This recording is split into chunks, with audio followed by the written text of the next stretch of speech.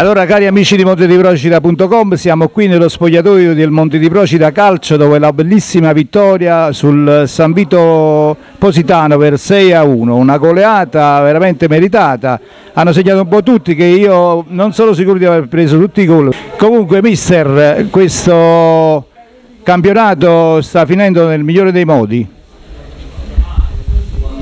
Sì, finalmente dopo tante prestazioni fatte dopo tante prestazioni importanti sotto il livello del gioco, però non arrivavano i gol, oggi finalmente sono arrivati anche tanti gol.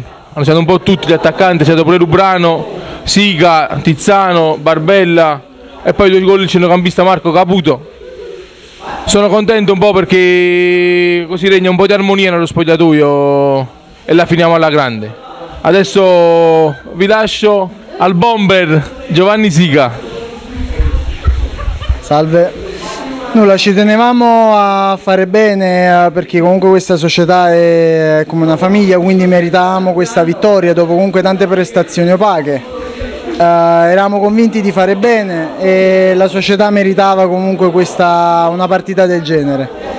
Nulla, ci teniamo quindi a chiudere il campionato, ovviamente già salvi, ci teniamo comunque a chiudere il campionato con una prestazione superlativa e l'abbiamo chiusa penso nel migliore dei modi, è stato un buon campionato. Allora mister, un'altra vittoria a tavolino si aspetta per domenica prossima per la mancanza della squadra avversaria che si è ritirata, quindi il campionato oramai c'è qualche rimpianto, si poteva fare un po' di più?